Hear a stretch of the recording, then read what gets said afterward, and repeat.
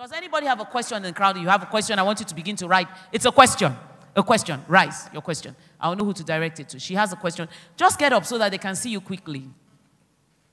All right, we are talking about a man who um, probably um, he's, he's starting, he, he, he has a focus with vision and everything, but then he's not as, um, you know, he doesn't have it like materially. Mm-hmm. And then you're meant to follow him, you're meant to follow this dream. How, and sometimes it can be discouraging, like, okay, we're really not seeing the real stuff. But then how do you hold on? Seeing this dream, you know, you're, you're following up, how do you hold on? I'm going to direct this question to a woman that I know has held on. Okay, Pastor Dorcas, how do you hold on? Because I remember, should I say it or I should not say it? I should not. I will say Joe. I have the mic. There's one boys quarter. Is that they used to say they live in Ikoyi, but he's a boys quarter.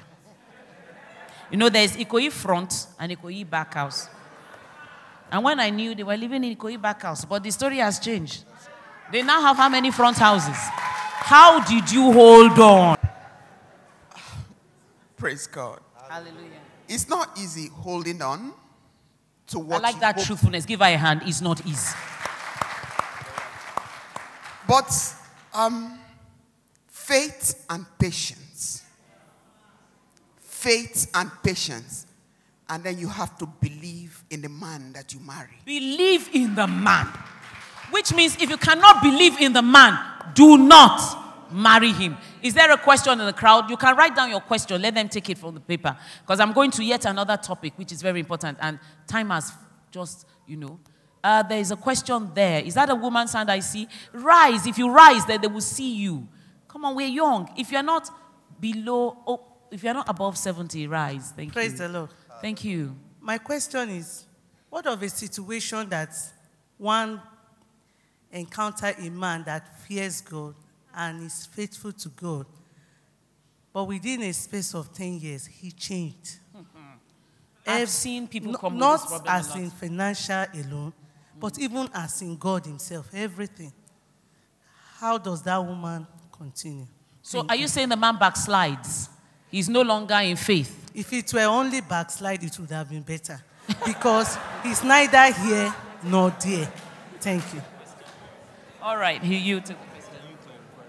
She says, You marry a man, and it was all good in the beginning. He feared God, everything was good financially. But 10 years later, he has backsliding. Of course, she did not have the financially, but maybe the financial want to backslid. She said, If it was only backslide, we would be glad.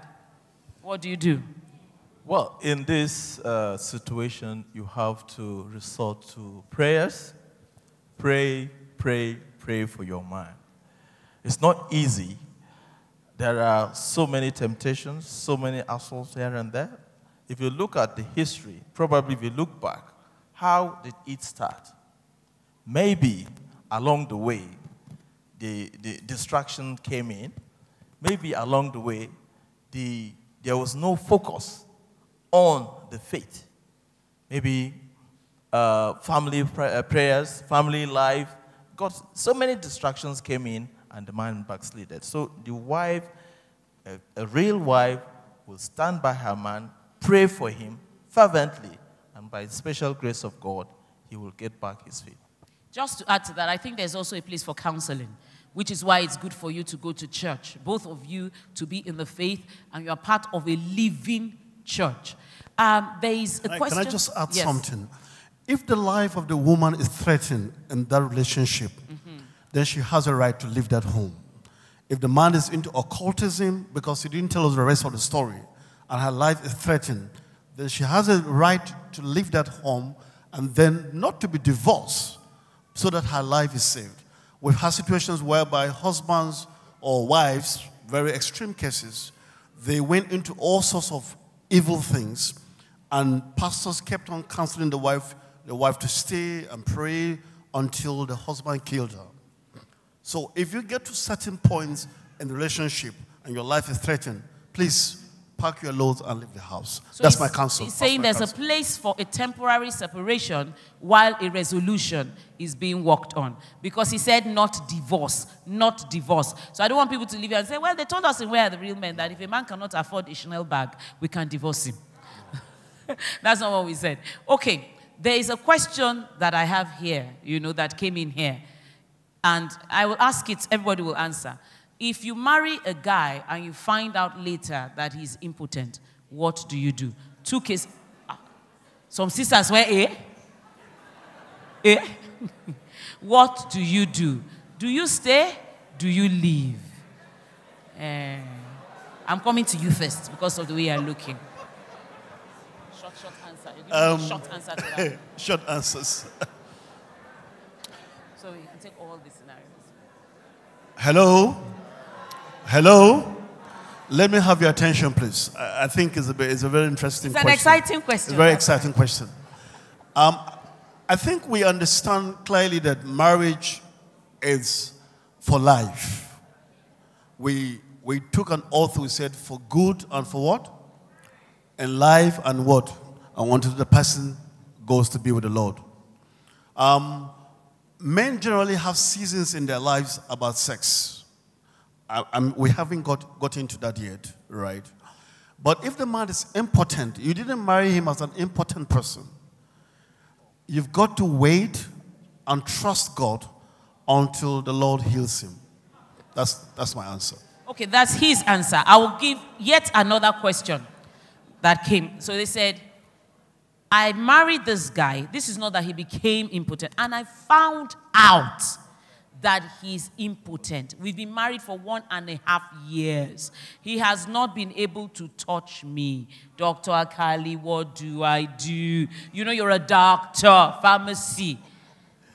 Well, um, That means Viagra is not helping. Yes, yes. Uh, from the beginning, if the man was um, deceitful, because uh, if the man knows that he's important and goes ahead to marry a wife, I think um, to some extent there's some reasonable ground to give a little separation. But there is also space for proper medical investigation. What is the cause of this impotence? Can it be treated? And then we continue. Okay, it can be treated. If it can be treated, and it was not a, dis- I mean, if it, I mean, the man knows very well that he is, he is um, impotent, and goes ahead to marry. I think it's it's it's it's a bad, very bad case. No, no, we haven't. Dis- I'm coming. Pastor Ken, I say you're raring to go, but I'm coming. Your own question is a modification of that. Dr. Akali has not really told us what. He said, go and treat it. And then um, we'll take it on a case by case level. Let, let me give you a way of escape. Let's, then we'll take it case by case. They should see you later. In case after it's been treated and it does not work, you see, you will be on the first row. Now, Pastor Ken, this is your own, or let me call Pastor Ken, this is your own question. All right, since these kind of things happen, how can we forestall it from happening and still not have sex before marriage? Can we test? Somebody said test. Test how? You, you see, you know, me, I know. I've been at this thing for a long time. It's you pastors that they cannot tell. Give her a hand, clap for her. It's good to say what is inside you. This is not church now. It's a short answer. Okay, um, even though the answer, I'll try and make it short. Section 15 of the Matrimonial Causes Act gives, The law, the law, my learned colleague. gives us Section- about seven, seven uh, situations, A to G, uh, whereby the marriage can be nullified ab initio. So that solemnization without consummation is grounds for nullification. If he cannot consummate, then you have every right to file for nullification, not divorce. Nullification means that the court would say the marriage never happened.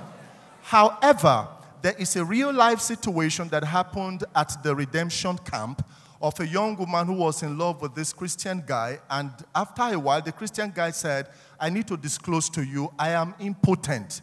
I know people love me because of my money, because the guy was well to do. But he said, I've come to love you sincerely that I will not deceive you. I am impotent. And the lady's reply was this I have prayed severally concerning our relationship, and I know it is the will of God for me to marry you. God also told me that I will have children, my quiver shall be full of them. The, uh, the, the, the, the, the paradox will be resolved at the altar of God's miracle working power. Year one, no erection. Year two, no erection. Year three, no erection. After the third year, they were at the miracle uh, service with Adeboye when Baba stood up in his characteristic manner and said, uh, Daddy just told me there is somebody here. Uh, you've been married, but you have not been able to fulfill your role as a husband. The power of God is healing you right now.